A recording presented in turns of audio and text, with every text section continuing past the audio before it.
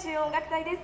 今日は大変暑い中木曜コンサートにお集まりいただき誠にありがとうございます。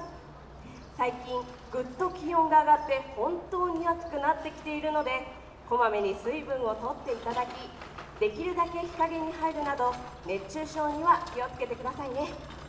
限られたお時間ではありますが午後のひととき私たちの演奏でお楽しみください。SNS では本日の指揮者は演奏班長山下健三等陸佐とお伝えしていましたが急遽変更しましてピンチヒッターでなんと隊長と副隊長2人でお送りすることとなりました。こんな機会はめったにないので今日お越しいただいたお客様はとってもラッキーです。え本日本日のご案内役を務めます三等陸曹中山さなです。どうぞよろしくお願いいたします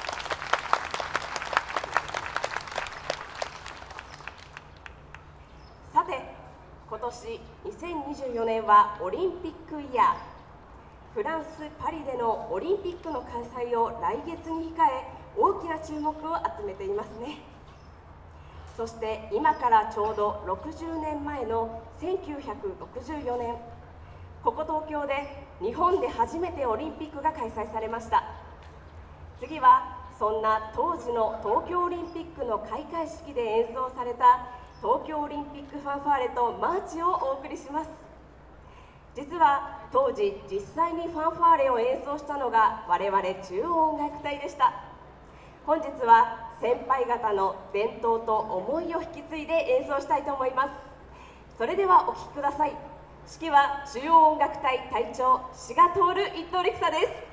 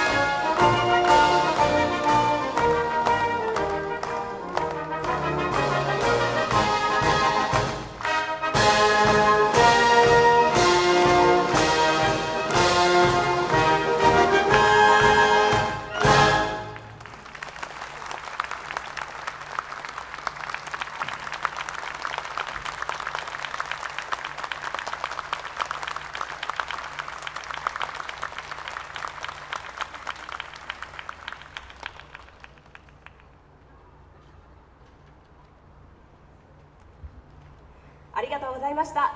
東京オリンピックファンファーレとマーチをお送りしました。